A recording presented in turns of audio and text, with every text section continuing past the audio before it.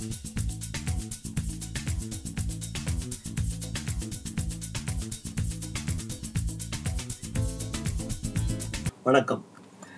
வரலாறு நினைவூட்டப்படவில்லை என்றால் மனித வாழ்க்கையில் மறுமலர்ச்சி ஏற்படுத்திய தலைவர்கள் மறைக்கப்பட்டு விடுவார்கள். அவ்வாறு மறைக்கப்பட்ட மறக்கப்பட்ட பல தமிழ் தலைவர்களை இன்றைய இளைய தமிழ் தலைமுறைக்கு எடுத்து சொல்வது தொடர் நடவடிக்கைகளாக மாற வேண்டும் என்ற சிந்தனையோடு தான் இந்த உரை. மக்கள் நலனில் ஆர்வம் கொண்டு தமது அளப்பரிய அறிவாலும் ஆற்றலாலும் பல நற்செயல்களை செய்த திரு அண்ணாசாமி அவர்களின் பேரனும் திரு தாமரை செல்வம் அவர்களின் மகனுமான திரு ஏ டி பன்னீர்செல்வம் அவர்களை தமிழர்கள் யாரும் மறந்துவிடக்கூடாது திருவாரூர் மாவட்டம் நன்னிலம் அருகே உள்ள செல்வபுரம் என்ற ஊரில் ஆயிரத்தி எண்ணூற்று எண்பத்தி எட்டாம் ஆண்டு ஜூன் திங்கள் ஒன்றாம் நாளில் தாமரை செல்வம் ரத்தினம் அம்மாள் இணையருக்கு மகவாக பிறந்தார் பன்னீர்செல்வம். பன்னீர்செல்வத்தின் பெரிய தந்தையார் தஞ்சையில் வழக்கறிஞராக பணி செய்து வந்த நிலையில் தஞ்சையில் தங்கி உயர்கல்வியை கற்றார் திரு செல்வம். அந்நாட்களில் ஏழை எளிய மக்களுக்கு சட்ட உதவி செய்து வந்த தன் பெரியப்பாவை போன்று நாமும் சட்டம் படித்து ஏழை எளிய மக்களுக்கு உதவி செய்ய வேண்டும் என்று தனது எதிர்கால வாழ்க்கை பயணத்திற்கு வழிவகுத்துக் கொண்டார். திருச்சி வளனார் கல்லூரியில் உயர்கல்வியை நிறைவு செய்தார். படித்துக் கொண்டிருக்கும் காலத்திலேயே பெரும்பண்ணையூர் என்ற ஊரில் பெரும் நிலக்கிழாராக திகழ்ந்து வந்த முத்துசாமி அவர்களது மகள் பொன்னு பாப்பம்மாள் என்பவரை இல்வாழ்க்கை துணையாக ஏற்றுக்கொண்டார். திரு முத்துசாமி அவர்கள் நூத்தி முப்பத்தி இரண்டு ஏக்கர் நிலத்தை தன் மகளுக்கு எழுதி வைத்தார். வெளிநாடு சென்று சட்டம் படிக்க வேண்டும் என்ற எண்ணத்தை தந்தையிடம் கூறி அவரின் இசைவு பெற்றார் செல்வம். கருவுற்று இருந்த தன் மனைவியோடு இருக்க வேண்டும் என்று அவர் மனம் விரும்பினாலும் கூட கல்வி அவரை அழைத்தது. இங்கிலாந்து சென்றார். இருபத்தி ஆறு ஒன்று ஆயிரத்தி தொள்ளாயிரத்தி பனிரெண்டு அன்று பாரட்லா பட்டம் பெற்று தாயகம் திரும்பினார். தாயகம் திரும்பிய திரு பன்னீர்செல்வம் அவர்கள் முதல் வேலையாக தனது மகள் மேரியை கண்டு மகிழ்ந்தார். மேரிக்கு பிறகு George Daisy Victoria Edward Albert உட்பட ஏழு குழந்தைகள் பிறந்தனர். இரு குழந்தைகள் பிறந்த ஆண்டிலேயே ஆண்டவரின் திருவடி சேர்ந்தனர். பாரட்லா முடித்த திரு செல்வம் அவர்கள் சென்னை உயர்நீதிமன்றத்தில் வழக்கறிஞராக தன்னை பதிவு செய்து கொண்டார். சென்னையின் சூழல் அவரது உடல் நலத்திற்கு பாதுகாப்பானதாக இல்லை. மலேரியா காய்ச்சலால் பாதிக்கப்பட்டார். ஆகவே தஞ்சைக்கு சென்று வழக்கறிஞர் பணியை செய்தார். இவரால் பல ஏழை எளிய மக்கள் உரிய நீதியை பெற்றுக்கொண்டனர் ஆயிரத்தி தொள்ளாயிரத்து பதினாறாம் ஆண்டு இறுதியில் நீதி கட்சியில் தன்னை இணைத்துக் கொண்டார். தஞ்சை மாவட்ட தலைவராக பெரும் பணியாற்றினார். ஆயிரத்தி தொள்ளாயிரத்தி பதினெட்டாம் ஆண்டு நீதி கட்சியின் தலைவர்களான பி டி தியாகராயரும் டி எம் நாயரும் பங்கேற்ற தஞ்சை நீதி கட்சி மாநாட்டை சிறப்பாக நடத்தினார் திரு பன்னீர்செல்வம் அவர்கள். மாநாடு நிறைவுற்ற பின்னர் மாநாட்டிற்கு வந்திருந்த முக்கிய ஆளுமைகளுக்கு தஞ்சையை சுற்றி பார்க்க வேண்டும் என்ற ஆவல் ஏற்பட்டது. அதனை நிறைவேற்றி வைக்கும் பொறுப்பினை பன்னீர்செல்வம் ஏற்றிருந்தார். அதன் பொருட்டு குதிரைகள் இழுத்துச் செல்லும் வண்டி ஒன்று ஏற்பாடு செய்யப்பட்டிருந்தது. செம்மண் சாலையில் சென்று கொண்டிருந்த வண்டியின் சக்கரங்கள் ஓரிடத்தில் புதையுண்டு நகர இயலாத நிலைக்கு உள்ளாயின. வண்டியிலிருந்து குதித்த பன்னீர்செல்வம் தனது தோளால் முட்டு கொடுத்து சக்கரங்கள் மீளவும் மேற்கொண்டு வண்டி ஓடவும் உதவினார். தான் அணிந்திருந்த ஆடை அழுக்கடைந்ததையும் அவர் பொருட்படுத்தவில்லை.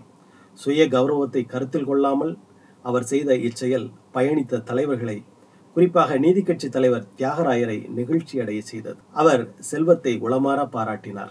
ஆயிரத்தி தொள்ளாயிரத்தி பதினெட்டாம் ஆண்டு முதல் ஆயிரத்தி தொள்ளாயிரத்தி இருபதாம் ஆண்டு வரை தஞ்சை நகராட்சி தலைவராகவும் ஆயிரத்தி தொள்ளாயிரத்தி இருபத்தி இரண்டு முதல் இருபத்தி நான்கு வரை மாவட்ட கல்விக்குழு தலைவர் தாலுகா போர்டு உறுப்பினர் ஜில்லா போர்டு துணைத் தலைவர் பதவிகள் அமர்ந்து அப்பொறுப்புகளுக்கு பெருமை சேர்த்தார். ஆங்கிலேயர்களால் இந்தியா ஆளப்பட்டு வந்த காலத்தில் இங்கிலாந்தின் மாண்டேகு என்பவர் இந்தியாவிற்கு அமைச்சராக இருந்தார். ஆங்கில அரசின் பிரதிநிதியாக செம்ஸ்போர்ட் என்பவர் இந்தியாவில் பொறுப்பு வகித்தார். இவ்விருவரும் சேர்ந்து ஒரு அரசியல் சீர்திருத்த திட்டத்தை வடிவமைக்கின்ற முயற்சியை ஆயிரத்தி தொள்ளாயிரத்தி பதினேழாம் ஆண்டு மேற்கொண்டனர். மக்களுக்கு வாக்குரிமை வழங்கி தேர்தல் நடத்துவது பற்றிய ஆய்வுகள் நடந்தன.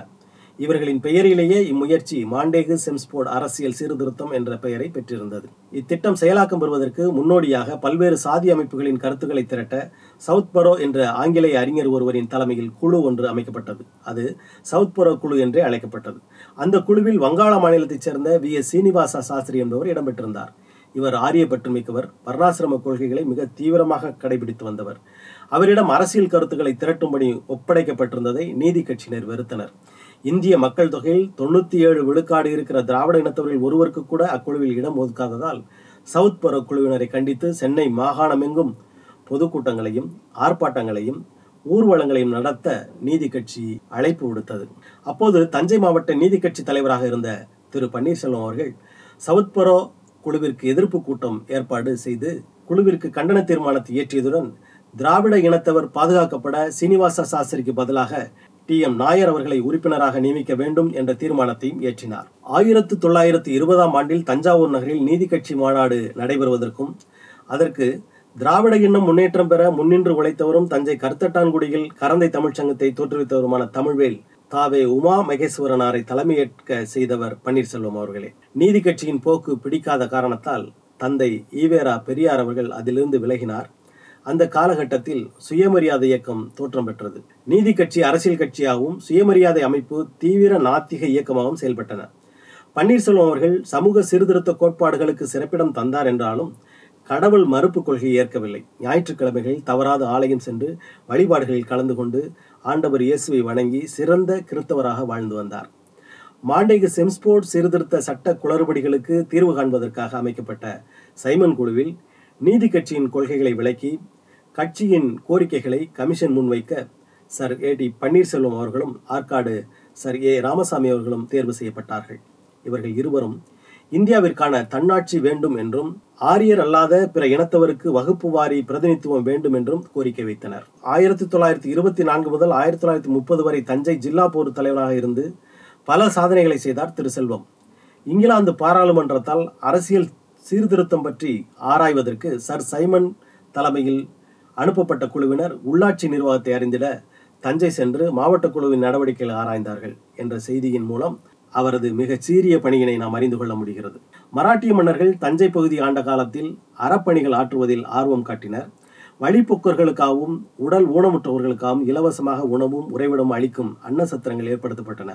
அவற்றை எழுப்புவதில் முனைப்பாக செயலாற்றியவர் இரண்டாம் சரபோசி மன்னர். தஞ்சாவூருக்கு வடக்கே திருவையாறு தொடங்கி தெற்கே பட்டுக்கோட்டையை கடந்து கடற்கரையை ஒட்டி ராமேஸ்வரம் செல்லும் நெடிய சாலையோரங்களில் அவ்வாறு அன்னச்சத்திரங்கள் உருவெடுத்தன. திருவையாறு சத்திரம் சைதாம்பாள் சத்திரம் ராசாமடம் சேதுபாவா சத்திரம் உரத்தநாடு சத்திரம் முத்தமாள் சத்திரம் மீன்மிசல் சத்திரம் முதலானவை குறிப்பிடத்தக்கவை ஆகும். உயரிய நோக்குடன் உருவெடுத்த அந்த சத்திரங்களிலோ ஊழல்கள் பெருக்கெடுத்தன. சாதிவரி தாண்டவம் ஆடிற்று. ஆரியரின் தீண்டாமை தீயும் கொழுந்துவிட்டு எரிந்தது.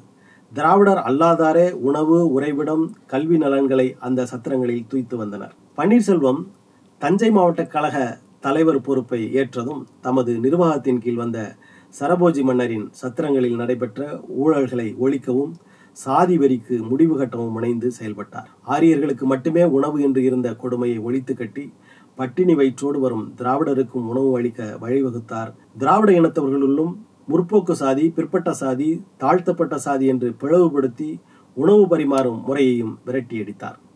சத்திரத்து பள்ளி விடுதிகளில் தங்கி பயிலும் மாணவர் எல்லோரும் சாதி வேறுபாடு இன்றி ஒன்றாக அமர்ந்து உண்ணும் நிலைமையை ஏற்படுத்தினார். இவ்வாறு சத்திரங்களில் பன்னீர்செல்வம் துணிச்சலாக மேற்கொண்ட சீர்திருத்தங்கள் திராவிடரிடையே ஒற்றுமை உணர்வுக்கு உரமூட்டின.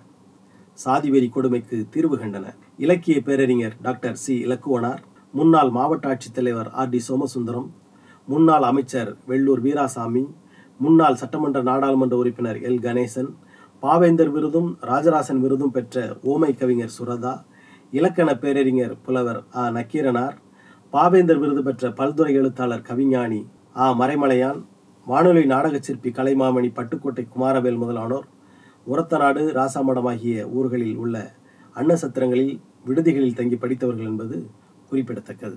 மராட்டிய மன்னர் இரண்டாம் சரபோஜி பசிப்பிணி நீக்க அன்னசத்திரங்களை அமைத்ததைப் போலவே அறியாமை பணியை போக்க கல்வி பணி ஆற்றுவதில் காட்டிய அக்கறை கல்வி நிலையங்கள் பல எழுவதற்கு வழிவகுத்தன. கல்லூரி ஒன்று தோற்றுவிக்கப்பெற்றது காவிரி ஆற்றின் வடகரையில் மூன்று மாடி கட்டிடத்தில் அது இயங்க தொடங்கிற்று. அதிலோ சமஸ்கிருத மொழி மட்டுமே கற்பிக்கப்பட்டது. ஆரிய மாணவர்கள் மட்டுமே சேர்ப்பிக்கப்பட்டனர். தமிழோ அதனை தாய்மொழியாக கொண்ட திராவிட தமிழரோ அங்கே நுழைந்துவிட முடியாத தடுப்பு வேலிகள் எழுப்பப்பட்டு விட்டன கல்லூரியின் பெயரும் அதற்காக பொருள் கொடை புரிந்த சரபோஜி அரசரின் பெயரால் அமைக்கவில்லை. சமஸ்கிருத கல்லூரி என்னும் பெயரையே அது தாங்கிற்று.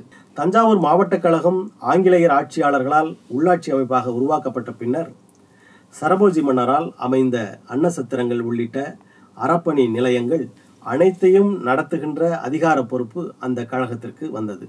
பன்னீர்செல்வம் தஞ்சாவூர் மாவட்ட கழக தலைவராக தேர்வு பெற்றதும் மராட்டிய மன்னர்கள் அறப்பணி நிறுவனங்களை எல்லாம் நேரடியாக கண்காணித்து சீரமைக்கும் திட்டங்களை முனைப்புடன் மேற்கொண்டார். அந்நிலையில் திருவையாறு கல்லூரி இவரை அதிர்ச்சியில் ஆழ்த்தியது.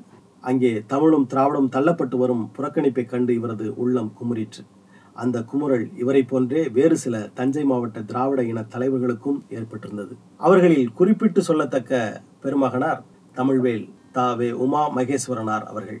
அந்த முறையில்தான் திருவையாறு சமஸ்கிருத கல்லூரியில் தமிழுக்கும் திராவிடருக்கும் எதிராக நடக்கும் புறக்கணிப்பை நீக்கும் நடவடிக்கைகளை எடுக்க வேண்டும் என்று இருவருமே எண்ணினர். அதற்கு வலிமை சேர்க்கும் வகையில் கரந்தை தமிழ்ச்சங்க விழா ஒன்றில் உமா மகேஸ்வரனார் ஒரு தீர்மானத்தை நிறைவேற்றி சென்னை மாகாண ஆளுநருக்கும் தஞ்சை மாவட்ட கழக தலைவரான பன்னீர்செல்வத்துக்கும் அனுப்பி வைத்தார். அதையே ஒரு அடிப்படை ஆதாரமாக கொண்டு பன்னீர்செல்வம் அவர்கள் செயற்பாடுகளில் இறங்கினார். திருவையாறு சமஸ்கிருத கல்லூரி சரபோஜி அரசரின் பொருட்கொடையால் தான் இயங்கியது. அதனை காரணமாக காட்டி சமஸ்கிருதம் என்னும் சொல்லுக்கு விடை கொடுத்துவிட்டு திருவையாறு அரசர் கல்லூரி என பெயர் மாற்றம் செய்தார். அங்கே தமிழ் கல்வி வகுப்புகள் தொடங்கப்பட்டு திராவிட இனத்தவர் புலவர் பட்டம் பெறுவதற்கு இவரால் வழிவகுக்கப்பட்டது. கல்லூரியோடு இணைந்த விடுதியில் ஆரிய மாணவர்கள் மட்டும் தங்கியிருந்த நிலையையும் இவர் மாற்றினார். அவர்களோடு திராவிட மாணவர்கள் இணைந்து தங்கவும் ஒன்றாகச் சேர்ந்து உணவு அருந்தவும் இவர் ஆணை பிறப்பித்தார். பன்னீர்செல்வம் அவர்கள் மேற்கொண்ட இந்த துணிச்சலான நடவடிக்கைகள் சமஸ்கிருதத்தை தாய்மொழியாக கொண்ட ஆரிய இனத்தவருக்கு கடும் சினத்தை கொடுத்தன. அவர்கள் கடுமையாக இவரை எதிர்த்து பழிதூற்றினர். அவர்களின் கண்டன கணைகளை எல்லாம் புன்னகையோடு தாங்கிக் கொண்டு தாம் கொண்ட கொள்கையில் எடுத்த நடவடிக்கையில் இறுதி வரை உறுதியாக நின்றார் திரு பன்னீர்செல்வம் அவர்கள். தமிழ் புறக்கணிப்பை தடுத்து நிறுத்துவதிலும் திராவிட தமிழர் கல்வி நிலையங்களை உயர்த்துவதிலும் எத்தகைய புரட்சியாளராக பன்னீர்செல்வம் அவர்கள் ஏறுநடை போட்டார் என்பதற்கு திருவையாறு அரசர் கல்லூரியே ஒரு அருமையான சான்றாகும். தஞ்சையின் வடக்கு பகுதியில் தாழ்த்தப்பட்டோருக்கான தனி மாணவர் விடுதியை ஏற்படுத்தினார். இப்போதும் இவ்விடுதி இயங்கி வருகிறது. தஞ்சை மாவட்டத்தை பொறுத்த அளவில் தாழ்த்தப்பட்டோருக்கு பணி நியமனங்களில் தாராளமான பங்கு கிடைக்கும்படி செய்தார். தஞ்சை ஜில்லாவுக்கு உட்பட்ட தாலுகாவில் தமது பதவி அதிகார அடிப்படையில் பிரதிநிதித்துவம் அற்றோராக இருந்த ஆதி திராவிடர்களையே பெரும்பாலும் தாலுகா போர்டு உறுப்பினர்களாக நியமனம் செய்தார். ஒருமுறை பட்டுக்கோட்டை தாலுகாவிற்கும் ஒரு ஆதி திராவிட தோழரை தாலுகா போர்டு உறுப்பினராக நியமித்தார். தாழ்த்தப்பட்டவர் தம்முடன் சமமாக அமர்ந்து கூட்டத்தில் பேசுவதா என்று மற்ற உறுப்பினர்கள் கடும் எதிர்ப்பினை தெரிவித்தனர். தாலுகா போர்டு தலைவரான நாடிமுத்து பிள்ளை இதில் முதன்மையானவராக இருந்தார். தாலுகா போர்டு கூட்டம் நடத்தப்படாமலேயே தள்ளி போய் கொண்டிருந்தது. வெகுண்டெழுந்த பன்னீர்செல்வம் அவர்கள் அவர்களை எச்சரித்தார். முதலமைச்சர் சுப்பராயனிடம் தெளிவாக தம் நிலையை விளக்கினார். விளைவு சுப்பராயன் தாலுகா போர்டு கூட்டம் நடத்தப்படாவிட்டால் கலைக்கப்படும் என்றார். ஆதிக்கவாதிகள் அசைந்து கொடுத்தனர். ஆதி திராவிட தோழர்களுடன் அமர்ந்தே கூட்டத்தை நடத்தினார்கள். இதுபோல் ஏராளமான நியமனங்களை இன்னும் கூறிக்கொண்டே போகலாம். அதன் பின்னர் தஞ்சை கூட்டுறவு வங்கி தலைவராக பணியாற்றினார் திறம்பட நடத்தினார். தஞ்சையில் இன்று இயங்கும் கூட்டுறவு மேலாண்மை பயிற்சி நிறுவனம் இவர் பெயரால் ஆரம்பிக்கப்பட்டது. இந்தியாவின் விடுதலைக்காக வன்முறையற்ற அமைதி வழி போராட்டங்களை நடத்தி உண்மையையே கடவுள் நெறியாக கடைபிடித்து உலக புகழ் பெற்றவர் காந்தியடிகள். அவருடைய இந்து மதப்பற்றையும் நடைமுறைக்கு ஒவ்வாத பொருளியல் மொழியியல் கொள்கைகளையும் ஏற்க மறுப்போர் கூட அவருடைய தனி மனித ஒழுக்க பண்பாட்டையும் பகைவருக்கும் துன்பம் செய்யாத அருள்கணிந்த அறநெறி தழுவிய வாழ்க்கை பயணத்தையும் போற்றுவர். அத்தகைய மாமனிதரை நேரில் கண்டு உரையாடும் வாய்ப்பு நீதி கட்சியின் முன்னணி தலைவர்களில் ஒருவரான பன்னீர்செல்வம் அவர்களுக்கு கிட்டியது. ஆயிரத்து தொள்ளாயிரத்தி இருபத்தி ஏழு செப்டம்பர் பதினாறாம் நாள் தஞ்சை நகருக்கு வருகை புரிந்தார் காந்தியடிகள். அப்போது தாவே உமா மகேஸ்வரம் பிள்ளை உக்கடை தேவர் சையத் தாஜுதீன் கார்குடி சின்னையா பிள்ளை பட்டுக்கோட்டை தண்டபாணி செட்டியார் ஆகிய மற்ற நீதி கட்சி தலைவர்களுடன் இவரும் சென்று பார்த்தார்.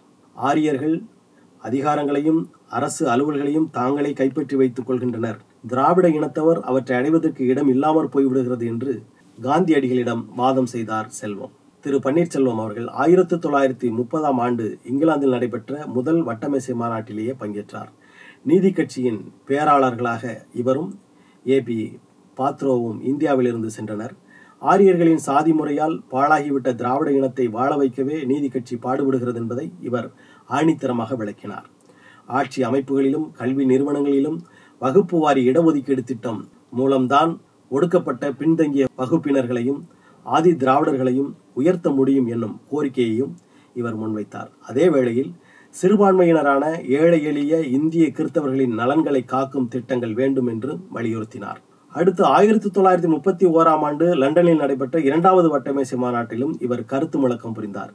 இவரது ஆங்கில சொல்லாற்றலும் பாதிக்கப்பட்டவர்கள்பால் இவர் கொண்ட அக்கறையும் அந்த இரண்டு மாநாடுகளில் பங்கு பெற்றோரை வியப்பில் ஆழ்த்தியது மகிழ்ச்சியில் திளைக்க வைத்தது. ஆயிரத்து தொள்ளாயிரத்தி முப்பது முதல் இவர் சட்டமன்ற உறுப்பினராக பணியாற்றத் தொடங்கினார்.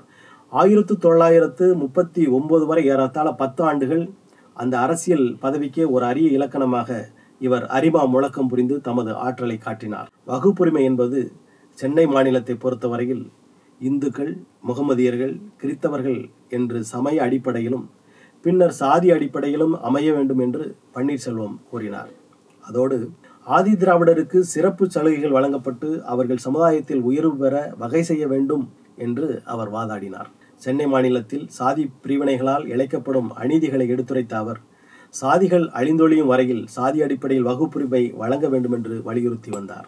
மாநில அரசு இணைச் செயலாளர் துணை செயலாளர் அளவில் கூட ஆதி திராவிடர்கள் இடம்பெறவில்லை என்று சிதம்பரம் சுவாமி ஏஎஸ் சுகஜானந்தம் சட்டமன்றத்தில் சுட்டிக்காட்டிய போது செல்வம் அவர்களது கருத்தை ஆதரித்து அக்குறையை களைய அரசு ஆவண செய்ய வேண்டும் என்று வாதாடினார். ஆதி திராவிடர்கள் நலனுக்காக செல்வம் உழைத்து வருவதை உணர்ந்த M C Raja R Srinivasan போன்ற ஆதி திராவிட சமுதாய தலைவர்கள் செல்வத்துடன் நெருங்கிய தொடர்பு கொண்டு பணியாற்றி வந்தனர். ஆளுநரின் நிர்வாகக் குழுவில் பன்னீர்செல்வம் உள்துறை உறுப்பினராக இருந்தபோது தமது துறையில் குறிப்பாக காவல்துறையில் ஆதி திராவிடர்களை அதிகமாக சேர்க்குமாறு ஆணை பிறப்பித்தார். மற்ற சமூகத்தார் மாநிலத்தில் அனுபவிக்கும் உரிமைகளை ஆதி திராவிட சமூகத்தாரும் பெற செல்வம் பெரிதும் உதவி வந்தார். ஆயிரத்து தொள்ளாயிரத்தி முப்பத்தி எட்டாம் ஆண்டு நீடாமங்கலத்தில் காங்கிரஸ் மாகாண மாநாடு நடைபெற்றது.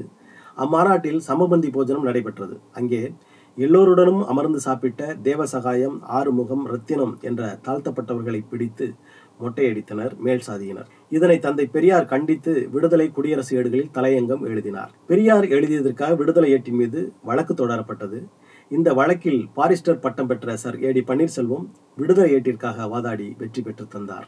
இந்தி எதிர்ப்பு போராட்டம் நடைபெற்ற போது விடுதலை ஆசிரியர் எஸ். முத்துசாமி பிள்ளை பதிப்பாளர் ஈவை கிருஷ்ணசாமி ஆகியோர் மீதான தேச துரோக வழக்குகளில் பன்னீர்செல்வம் விடுதலை சார்பாக வாதாடினார் என்பது குறிப்பிடத்தகுந்ததாகும். இந்தி மொழியை யாரும் விரும்பி கற்கக்கூடாது என்று பன்னீர்செல்வம் அவர்கள் சொன்னதில்லை.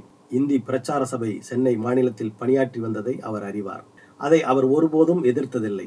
ஆனால் இந்தி கட்டாயமாக்கப்படும் போது அது ஆரிய மொழியை திராவிடர் மீது திணித்து அதன் மூலம் திராவிட நாகரிகத்தை அழிக்கும் சதித்திட்டமே என்று செல்வம் நம்பினார். அதனாலேயே இந்தி திணிப்பை கடுமையாக எதிர்த்தார். ஆரியர் அல்லாதாரின் நன்மையை கருதியே தாம் இந்தியை கட்டாய பாடமாக்கியதாக முதல்வர் ராஜாஜி கூறினார். ஆரியர் அல்லாதாரே இந்தியை எதிர்க்கும் போது இந்த இந்தி திணிப்பு திட்டத்தை ஏன் தொடர்கிறீர்கள் என்று செல்வம் கேள்வி எழுப்பினார். இந்தி எதிர்ப்பு ஆரியரல்லாத மக்களின் உண்மையான உணர்வின் வெளிப்பாடு என்று அன்றைய கல்வி அமைச்சர் டாக்டர் பி. சுப்பராயன் கூறியதை தமக்கு சாதகமாக பயன்படுத்தி வாதாடினார் செல்வம். மக்களின் உணர்வை மதிக்காமல் நடந்தால் அதற்குரிய பயனை அனுபவிக்க வேண்டிய காலம் வரும் என்று எச்சரித்தார். தந்தை பெரியார் தொடங்கிய சுயமரியாதை இயக்கம் முதல் மாநாடு ஆயிரத்து தொள்ளாயிரத்தி இருபத்தி ஒன்பது பிப்ரவரி பதினேழு பதினெட்டு நாட்களில் செங்கற்பட்டு நகரில் நடைபெற்றது. அதில் நீதி கட்சியின் முன்னணி தலைவர்கள் ஒருவரான பன்னீர்செல்வம் பங்கேற்று உரையாற்றினார். திராவிட இன எழுச்சிக்காக பெரியார் புரிந்து வரும் துணிச்சலான சீர்திருத்த தொண்டுகளை எல்லாம் சிந்தை குளிர்ந்திட பாராட்டினார். மறுபடியும் வீழ்ச்சியிலிருந்து கரையேற்றி நீதி கட்சியை வெற்றி பாதைக்கு இட்டுச் செல்ல வேண்டும் என்றால் அதற்கு ஒரே வழி ஏழை எளிய பாட்டாளிகளும் ஏற்றி போற்றத்தக்க தன்னலமற்ற தலைவர் அந்த கட்சிக்கு தலைமை தாங்க வேண்டும். அத்தகைய தகுதி வாய்ந்த ஒரே மக்கள் தலைவர் பகுத்தறிவு பகலவன் பெரியார் ஈவே ராமசாமி அவர்கள் மட்டுமே என்று உறுதியாக நம்பினார் பன்னீர்செல்வம். தமது நம்பிக்கையை நிறைவேற்றும் முனைப்புடன் நடவடிக்கைகளை இவர் மேற்கொண்டார். தேர்தல் தோல்வியால் சோர்ந்த மனதுடன் இருந்த அக்கட்சியின் முன்னணி தலைவர்களை அணுகினார். நீதி கட்சி மீண்டும் புத்துயிர் பெற்று நிமிர் நடை போடுவதற்கு பெரியார் தலைமை கட்டாயம் தேவை என்பதை அவர்களிடம் அழுத்தமாக விளக்கினார். இவர் எடுத்துக்கொண்ட பெருமுயற்சியால் அதுகாரும் சுயமரியாதை இயக்கம் என்னும் சமுதாய சீர்திருத்த தன்மான இயக்கத்தை மட்டுமே நடத்தி கொண்டிருந்த பெரியார் ஆயிரத்தி தொள்ளாயிரத்தி முப்பத்தி எட்டு நவம்பர் இருபத்தி எட்டாம் நாள் நீதி கட்சி என்னும் அரசியல் கட்சிக்கு தலைவரானார். ஆனால் இந்திய எதிர்ப்பு அறப்போருக்கு தலைமை தாங்கி நடத்திய அவரோ ஆறு பனிரெண்டு ஆயிரத்தி தொள்ளாயிரத்தி முப்பத்தி எட்டு அன்று கைது செய்யப்பட்டார். கர்நாடக மாநிலத்தில் உள்ள பெல்லாரி நகர சிறையிலே அவர் அடைக்கப்பட்டார். அந்நிலையில் முன்பே திட்டமிட்டபடி நீதி கட்சி மாநாடு ஆயிரத்தி தொள்ளாயிரத்தி முப்பத்தி எட்டு டிசம்பர் இருபத்தி ஒன்பதாம் நாள் சென்னை தீவுத்தொடரில் நடைபெற வேண்டியதாயிற்று. அந்த மாநாட்டு ஊர்வலத்தில் ஒரு தேரின் நான்கு புறங்களிலும் கட்சி தலைவரான பெரியாரின் திருவுருவ படங்கள் அழகுற பொருத்தப்பட்டு ஊர்வலம் நெடுக எடுத்துச் செல்லப்பட்டது. பொதுவாக மாநாடுகள் நடைபெறும் போது கட்சியின் தலைவரே அவற்றுக்கு தலைமை தாங்குவதுதான் மரபு.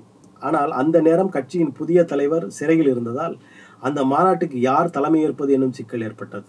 அப்போது அஞ்சா நஞ்சன் என்னும் சிறப்பு பட்டம் பெற்ற பட்டுக்கோட்டை அழகிரிசாமி வரவேற்புரை ஆற்றியவாறே இந்த நீதி கட்சி மாநாட்டுக்கு தலைமை தாங்கும் தகுதி படைத்தவர் சர். ஏ. டி. பன்னீர்செல்வம் அவர்களே என்று அறிவித்தார். ஏறத்தாழ ஐம்பதாயிரம் பேர் திரண்டிருந்த மாநாடே அதிரும்படியாக பெருத்த கைதட்டல் ஆரவாரத்திற்கு இடையே பன்னீர்செல்வம் மேடையில் எழுந்து நின்றார். அவருக்கு முன்னால் பூமாலை வந்தது. அவரோ அதற்கு கழுத்தை நீட்டவில்லை கைகளை நீட்டி அதனை வாங்கிக் கொண்டார். என் தோளுக்கு சூட வந்த இந்த மலர் மாலையினை நம் தலைவரின் தாளுக்கு அணிவிக்கிறேன் என்றவாறே பெரியார் படத்தின் காலடியில் அந்த மாலையை வைத்தார் பண்பு பேரொழி பன்னீர்செல்வம். அந்த காட்சியை கண்டதும் மாநாட்டில் கூடியிருந்த அத்தனை மக்களும் நெஞ்சம் நெகிழ்ந்தனர் அழுகையை அடக்க முடியாமல் கண்கள் குளமாயினர். தலைவர் பெரியார் அவர்களுக்கு பன்னீர்செல்வம் செலுத்திய வணக்கத்தையும் தலைசிறந்த மதிப்பையும் கூடியிருந்த எல்லோரும் உளமாற பாராட்டி வாயார வாழ்த்தினர். ஆயிரத்து தொள்ளாயிரத்து முப்பத்தி ஏழாம் ஆண்டு தேர்தலில் காங்கிரஸ் கட்சி வெற்றி பெற்றும் கூட உடனே ஆட்சி பொறுப்பை அது ஏற்கவில்லை. ஆங்கிலேய ஆட்சியாளர்களிடம் சில நிபந்தனைகளை கூறிக்கொண்டு காலம் கடத்தியது. அந்த இடைக்காலத்தில் சர் கே வி ரெட்டி தலைமையில் அமைச்சரவை அமைக்கப்பட்டது. அதில் இடம்பெற்ற பன்னீர்செல்வம் அவர்கள் நிதி உள்துறை அமைச்சராக கடமையாற்றினார். நீதி கட்சிக்கு தந்தை பெரியார் தலைவரானதும் ஆயிரத்து தொள்ளாயிரத்தி முப்பத்தி எட்டாம் ஆண்டு பன்னீர்செல்வம் அவர்கள் நீதி கட்சியின் துணைத் தலைவர் ஆனார். சென்னை மாகாணத்தில் திறமைகளின் கதிரவனாக ஒளி வீசிக் கொண்டிருந்த சர் ஏ டி பன்னீர்செல்வம் அவர்களின் அறிவாற்றலை பிரிட்டன் நாடு இந்தியா முழுமைக்கும் பயன்படுத்திக் கொள்ள விரும்பியது. எனவே லண்டனில் உள்ள இந்தியாவிற்கு உரிய அமைச்சருக்கு கருத்துரையாளர் அதாவது ஆலோசகர் என்னும் உயர்ந்த பதவியை இவருக்கு கொடுத்தது. வேறு எவருக்கும் எளிதில் கிட்டாத சிறப்பு அது ஆகும். ஆயிரத்தி தொள்ளாயிரத்தி நாற்பது ஜனவரி பத்தொன்பதாம் நாள் அத்தகைய ஆலோசகர் பதவியில் இவரை அமர்த்தி பிரிட்டன் அரசு ஆணை பிறப்பித்தது. செய்தி அறிந்ததும் தமிழ்நாடே மகிழ்ச்சி வெள்ளத்தில் திளைத்தது. இந்திக்காரர்களின் ஆதி காட்சி வரிக்கு அடிமைப்பட்டு விடாமல் தமிழும் தமிழரும் தனியாட்சி உரிமைகள் பெற்று தன்மான வாழ்வு நடத்தும் விடியல் வெளிச்சத்திற்கு பன்னீர்செல்வம் லண்டனில் ஏற்கப் போகும் பதவி கதவை திறக்கும் என்று இனமானமும் மொழிமானமும் உள்ள திராவிட தமிழர் எல்லோருமே நம்பினர். இவருக்கு நல்வாழ்த்துகள் கூறினர். செல்வம் அவர்களை பம்பாய் மெயில் புகை வண்டியில் வழியனுப்ப சென்னை சென்ட்ரல் ரயில் நிலையத்திற்கு நூற்றுக்கணக்கில் மக்கள் திரண்டிருந்தனர். தங்கள் மதிப்புமிகு திராவிட தலைவர் நெடுந்தொலைவில் உள்ள வெளிநாட்டுக்கு பயணம் போகிறார் என்று நினைத்த அளவிலேயே தன்மான இயக்கத்தவர் வெளிகளில் கண்ணீர் அரும்பு கட்டினார். நெரிசல் மிகுந்த அந்த மக்கள் கடலில் தந்தை பெரியார் நெடும்பலம் சாமியப்ப முதலியார் போன்ற பெருமக்களும் வாடிய முகத்துடன் வழி அனுப்ப வந்திருந்தனர். வண்டி புறப்பட போகும் வேளை பெரியாரும் பன்னீர்செல்வம் ஒருவரையொருவர் பார்க்கின்றனர். பேச்சு வரவில்லை. வெடிகளோ கலங்கி நீர்த்துளிகள் உருவாகின. தமக்குரிய பெட்டியின் படிக்கட்டுகளில் ஏறிய பன்னீர்செல்வமும் திடீரென்று கீழே இறங்குகிறார். மூத்த மகன் ஜார்ஜ் முகத்தை இரு கைகளாலும் பற்றி கொண்டு கன்னங்களில் முத்தமழை பொழிகிறார். மீண்டும் வண்டியில் ஏறி நின்ற அவர் பெரியார் அவர்களை கண்ணீர் ததும்ப பார்க்கிறார். அவருக்கும் விழிகள் குளமாகின்றன. தழுதழுத்த குரலில் போய் வாங்கய்யா என்று ஒரு மூத்த அண்ணனுக்குரிய பிரிவு துயரோடு கூறுகிறார் பெரியார். ஆயிரத்தி தொள்ளாயிரத்தி நாற்பது மார்ச் திங்கள் முதல் நாள் பொழுது விடுவதற்கு முன்னே காலை நான்கு ஐம்பது மணிக்கு அணிபால் என்னும் படைத்துறை விமானம் பன்னீர்செல்வத்தை ஏற்றிக்கொண்டு கராச்சியை விட்டு புறப்பட்டது. அன்று மாலை விமானம் விபத்துக்குள்ளாகி அரேபிய நாடான ஓமான் வளைகுடாவில் நொறுங்கி விழுந்து விட்டது. அதில் பயணம் சென்ற விமான அலுவலர்கள் நால்வர் ஆங்கில இராணுவ அலுவலர்கள் நால்வர் திரு பன்னீர்செல்வம் ஆகிய ஒன்பது பேரும் இறப்பின் கொடிய வாயில் விழுந்து விட்டனர். அதே வேளையில் தங்களுக்கு தனியாட்சி விடியல் விளையும் என்று கனவு கண்டு கொண்டிருந்த தமிழர் தலையில் இடி விழுந்து விட்டது. வானொலியும் நாளிதழ்களும் பரப்பிய அந்த திடுக்கிடும் செய்தியால் தமிழ்நாடே துயர நெருப்பில் வெந்து துடித்தது. தன்மான இயக்கத்தவரும் நீதி கட்சியினரும் கதறி ஆழுதனர் கண்ணீரில் அமிழ்ந்தனர். கட்சிகளை சாராத பல தரப்புகளையும் சேர்ந்த மக்கள் கூட ஆராத்துயருடன் புலம்பி தவித்தனர். செல்வம் இறந்தபோது தந்தை பெரியார் ஈவேரா அவர்கள் தம் குடியரசு இதழில் காலம் சென்ற பன்னீர்செல்வமே காலம் சென்று விட்டாயா? நிஜமாகவா? கனவா? தமிழர் சாந்தி பெறுவாராக எனும் தலைப்பில் எழுதினார். அறிஞர் அண்ணா உட்பட பல அறிஞர் பெருமக்களும் சாதாரண மக்களும் பெரும் மனத்துயருக்கு ஆளானார்கள். திரு. ஏடி பன்னீர்செல்வத்தின் உடல் மறைந்தாலும் அவரின் புகழ் மனிதர்களின் நினைவில் நின்று அவருக்கு நன்றி கூறுவனமாய் இருக்கின்றன. ஏடி பன்னீர்செல்வம் அவர்களது வாரிசுகள் அவரது நற்பண்புகளை பெற்று மக்கள் நலப் பணிகளை இன்றளவும் செய்து வருகிறார்கள் என்பது போற்றத்தகுந்ததாகும். நன்றி. வணக்கம்.